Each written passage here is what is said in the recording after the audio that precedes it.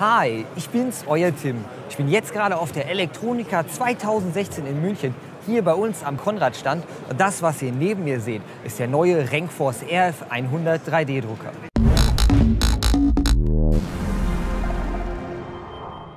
Wir haben bei der Entwicklung des Renkforce RF 100 ein besonderes Augenmerk darauf gelegt, dass er für jeden geeignet ist. Was bedeutet das überhaupt? Wenn ihr den Renkforce RF 100 zu Hause auspackt, dann benötigt ihr maximal fünf Minuten, bis ihr ihn in Betrieb nehmen könnt. Im Lieferumfang befindet sich alles Nötige. Das heißt, es befindet sich eine Spule Filament, mehrere Materialproben, aber auch passendes Werkzeug mit im Lieferumfang. Ein besonderes Augenmerk des RF 100 ist die einfache Bedienung. Auf der Vorderseite des Druckers habt ihr einen Knopf, mit dem ihr den Drucker vollständig bedienen könnt. Ihr könnt damit direkt Dateien von der SD-Karte auswählen und drucken, aber auch Parameter wie die Temperatur oder den Materialfluss während des Drucks anpassen. Der RF100 ist für 1,75 mm Filament ausgelegt und kann alle gängigen Materialien wie PLA oder PLA Compound oder Gummi verarbeiten. Was ist PLA Compound? Dahinter verstecken sich verschiedene Materialien wie holzähnliche Materialien oder metallähnliche Filamente. Natürlich werden sich viele von euch fragen, was soll ich denn überhaupt ausdrucken?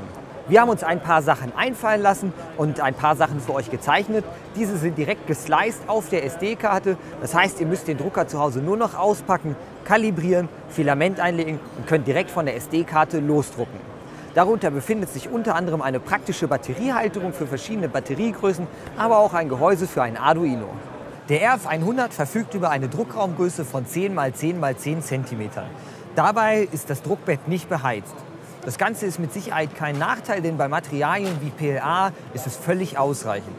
Wir haben hier auf der Glasplatte eine spezielle Adhäsionsfolie, auf dem die Materialien auch problemlos haften.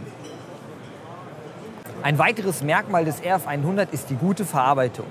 Das hier ist kein Kunststoffgehäuse, sondern das gesamte Gehäuse ist aus Metall und lediglich die Seitenplatten sind zusätzlich aus Acryl.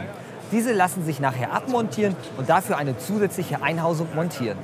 Als Slicing-Software kommt beim RF100 die Open-Source-Software Cura zum Einsatz.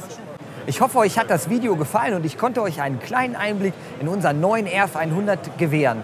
Wenn euch das Video gefallen hat, lasst einen Daumen hoch da und abonniert unseren YouTube-Kanal. Bis demnächst.